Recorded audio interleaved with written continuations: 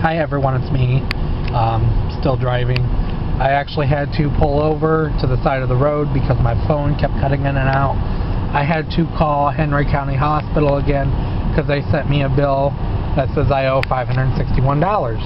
Um, and I explained to the woman that I first got one bill that said zero dollars, zero cents, that I owe nothing. And then she looked and reviewed the file and she found out that, oh yeah, Workman's Comp did pay it. And that they sent me a bill. So she's got to submit everything over to their review board. And they got to review the account. But she said just disregard that bill. Um, I don't even know why they sent it because after I called and she looked up in the notes and saw everything was taken care of, she said, yeah, please disregard that bill.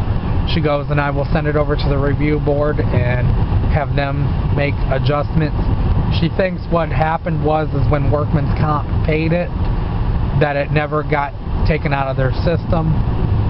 She said that's probably why I got one bill that said I owe nothing, and then another bill that said I owed $561. She actually um, apologized for it and told me, but like I said, I had to pull over because my phone kept cutting in and out, so I had to stop somewhere in Archbold and get better signal because my phone kept cutting in and out.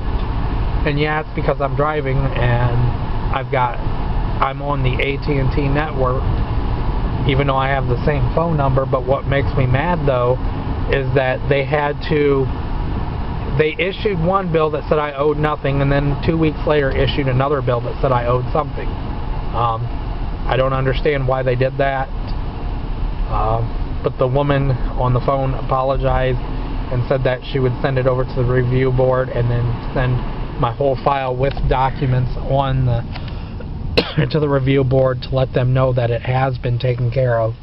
But I figured I'd share this with everyone. I'm going to stop it right here and I will talk to you guys soon. Have a good day. Bye.